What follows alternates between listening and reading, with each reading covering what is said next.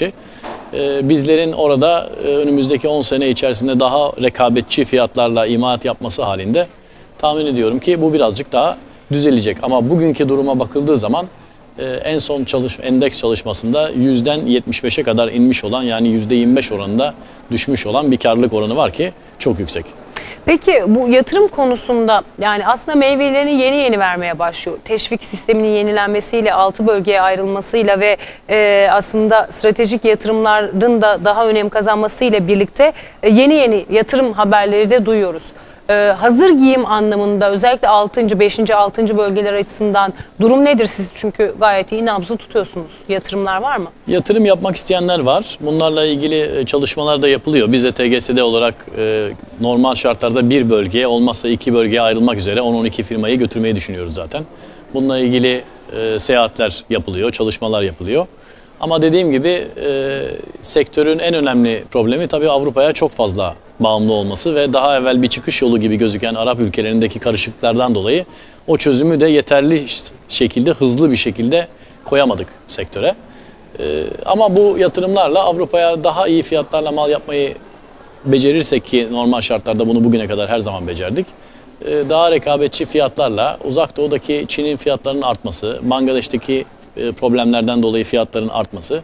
Genel olarak e, benim şahsi fikrim dünyada artık e, bedava imalat yapılacak yer fazla kalmadı. Bir tek Afrika bölgesi kaldı ki o da bu işten şimdilik çok uzak. Evet. E, Dolayısıyla uzak doğunun da fiyatının biraz artmasıyla Türkiye'nin de 6. bölgeyle biraz aşağı inmesiyle e, Türkiye'nin satışlarının daha da artacağını düşünüyorum. Türkiye aslında bu anlamda fırsat olarak değerlendiriyor ama e, keşke karlılık da biraz artsa diyorsunuz gibi bir ben sonuç çıkardım kendi adıma. E şu anda hala tabii dövizin e, genel olarak düşük kaldığı, e, dolayısıyla da bütün sektörlere e, zarar verdiği bir dönemdeyiz. E, firmalar tabii dövizin böyle düşük olmasından dolayı daha fazla ithalata yöneliyorlar imalat yapmak yerine. E, bunun da tabii bir zaman sonra herhalde e, zararları farkına varılacak. Avrupa'nın yaptığı hatalara e, düşmememiz gerektiğini düşünüyorum yani. Döviz düşükten kastınız nedir? Yani burada hani ihracatçılar özellikle sadece giyim için söylemiyorum. Genel olarak ihracatçılar belli bir bizim kırmızı çizgimiz var diyorlardı. Özellikle dolar için, euro için de zaten Avrupa en büyük ihracat pazarımız olduğu için de orası için de belli sınırlarımız var diyorlardı. Sizin e, olması gereken bu anlamdaki denge kur e, seviyeniz, politikanız Olması nedir? gereken diye bir lafta bulmak tabii çok iddialı bir şey ama bana göre e, Türkiye'nin genel olarak bir yüzde on civarında bir e, parasının e, değerinin fazla olduğunu ben şahsen düşünüyorum. E, tabii bu hazır giyim sektörüne belirli bir şekilde zarar veriyor. Ama bizler modayı yaparak, yeni koleksiyonlar yaparak bunu bir şekilde müşterimize kabul etmenin yolunu buluyoruz. Ama diğer sektörlerde böyle bir şey yok. Türkiye'nin diğer ihracat sektörlerinde her zaman pahalı olarak kalıyoruz ve bu bence ihracat rakamlarımızın hızlı büyümesini engelliyor. Evet. Yani eğer 2023'te bu 500 milyar dolarlık e, rakama ulaşacaksak e, bunun gerekli olduğunu düşünüyorum şahsen. Evet 500 milyar dolarlık rakam önemli ama yeni yeni aslında bu 2023 hedefleri konuşulurken bir taraftan da e, bunun katma değeri açısından yani sadece ciro değil, ihracat rakamı değil bunun katma değerinin de e, yüksek olması gerektiği yönünde açıklamalar var. Burada da hazır giyime çok iş düşüyor diye ben e, tahmin ediyorum. Biz katma değeri genelde yaratıyoruz ama uzun vadede bakıldığı zaman tabii şimdi bu İspanya'nın, İtalya'nın, işte Yunanistan'ın durumuna bakıldığı zaman en önemli işin insanlara iş e, yaratmak olduğu ortaya çıkıyor. E, tamamen bunun düşünülmesi lazım. Yani sonuçta bizim yeni insanlarımız, genç insanlarımız var. Bunlar evlenecekler, çoluk çocuk sahibi olacaklar. Dolayısıyla bir sürü alışveriş yapacaklar. Yani dolayısıyla Türkiye'nin kendi iç piyasası çok dinamik olmaya devam edecek önümüzdeki 10 sene. Bunlarla ilgili kararlarında daha dikkatli alınması Şimdi lazım. sektörün istihdama katkısı kaçınılmaz e, düzeyde.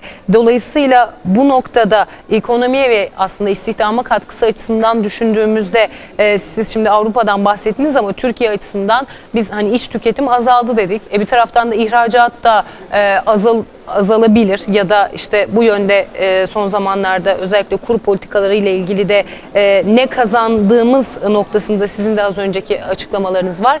Dolayısıyla acaba e, istihdama etkisi ne olur? Hazır giyim açısından e, soruyorum bunu. Biz şu anda genel olarak büyük şehirlerde yeteri kadar e, çalışan insan da bulamıyoruz. Yani şu anda bir 6 aydır, bir senedir e, bu ithalata konan vergilerden dolayı iç piyasadaki markalarımız da Türkiye'de imalat yaptığı için daha fazla çalışan insana ihtiyacımız var. Sigortalı insanlarda 440 bin civarına çıktık ki bu aşağı yukarı %10 civarında daha fazla e, kayıtlı istihdam anlamına geliyor ama yeterince insan bulamıyoruz. Yani bizim için aslında bu uzak bölgelere gitmenin böyle de bir faydası olacak. E, Türkiye'de işsizliğin de ne kadar artık e, gerçek olduğu, ne kadar insanların hakikaten çalışmadığını da araştırmak lazım. Yani ben şimdi başka sektörlerden de yeteri kadar insan bulamadıklarını duyuyorum. Acaba Türkiye'de hakikaten %8-9'luk işsizlik mi var yoksa 3'lerde 4'lerde var da öyle mi gözüküyor gibi de bir çalışması yapılması lazım herhalde. Yani e, iş var ama çalışan yok mu diyorsunuz? Bizim sektörümüz yeteri kadar çalışan insan bulamıyor diyorum. Yani şimdi onun sebebini tam olarak bulamıyorum ama bizim sektörümüzde büyümek isteyen firmalar, e, daha teknolojik işler yapmak isteyen insanlar Peki bulamıyorlar. kalifiye elemanlardan mı bahsediyorsunuz? Her, yoksa- hepsi dahil. Hepsi. Hepsi dahil. Yani en ufak, e, en acemi çalışandan e, en iyi çalışana kadar e, genel olarak sektörde bir insan bulamama derdi var. Son olarak Sayın Negrin ben şunu soracağım. Şimdi e, bu iç tüketim dediğimiz zaman alışveriş merkezleri ve alışveriş merkezlerinin e, konsolide edilebilmesi ihtimali son zamanlarda çok konuşuldu. Hatta Mavi Genel Müdürü Cüneyt Yavuz'un da açıklaması vardı. Gerçi sonradan kendi ağzıyla aslında yaptığı açıklama ile birlikte bunun doğru olmadığını söyledi ama FT'ye yaptığı bir açıklama Financial Times'a her ay bir alışveriş merkezi kapanır. E, hatta dendi ki işte destek de gelmedi e, bu işte perakende sektöründen kendisine diye. Ama dediğim gibi bu böyle bir açıklaması olmadığını da söyledi. Ama biz son zamanlarda çok görüyoruz. Yani e, alışveriş merkezlerinin bazılarının yatırımlarının çok doğru olmadığı yönünde de bazı açıklamalar var. Tam tersi yönde de açıklamalar var. Siz ne diyorsunuz bu duruma? Yani iş tüketimle birlikte alışveriş merkezlerinin e, bu yoğunluğu Türkiye'de bir iş tuttuğu zaman genelde herkes aynı işe odaklanıyor. Arkadaşım yaptı, ben de yapayım diye bir odaklanma şeyi var.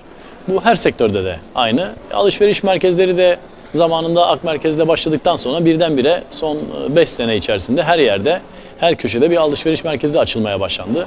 Tabii bunlardan bazıları çok başarılı, bazıları orta başarılı, bazıları da başarısız olacak gayet doğal olarak. E, Dolayısıyla da bazılarının kapanması sektörün kötü gittiğinin anlamına değil, doğru yapılmamış olan alışveriş merkezlerinin kapanması anlamına gelecek. Olabilir mi? E tabii ki olacak. Yani gayet doğal olarak her köşede açılan alışveriş merkezinin başarılı olması mümkün değil. Etrafındaki e, gidecek olan insan kitlesine bağlı, o bölünen bölgenin gelirine bağlı bir sürü e, yan şeyleri var. Çok yakın olanlar olduğu zaman tabii ki bir tanesi bir şekilde başarılı olamayacak. Bence söylediği tabii her ay bir tanesi kapanacak biraz abartılmış bir rakam ama kötüleri kapanacak deseydi herhalde doğru. Peki Sayın Ergün çok teşekkür ediyoruz yayınımıza katıldığınız için sağ olun. Ben teşekkür ederim. Sayın seyirciler biz başta belirtmiştik piyasaların asıl gündem maddesi Almanya Anayasa Mahkemesi'nin kararıydı diye. Karar e, özellikle piyasalar açısından olumlu karşılandı dedik. Merkel'in açıklamaları var Almanya Başbakanı. Biz biraz önce konuşurken ekranda da e, ekrana da yansıdı. Almanya Başbakanı Merkel Avrupa e, Almanya Avrupa'ya çok güçlü bir mesaj gönderdi bu açıklamayla bu kararla dedi. Mahkemenin kararı Avrupa için olumludur ve ya kemer sıkacağız ya rekabetçi olacağız şeklinde de açıklamasını biraz da uyarı niteliğinde yapmış olduğu Merkel. Tabii günün ikinci yarısında özellikle bu gelişmeleri değerlendirmeye devam edeceğiz. Piyasalar etkisini değerlendirmeye devam edeceğiz. Şimdilik hoşçakalın.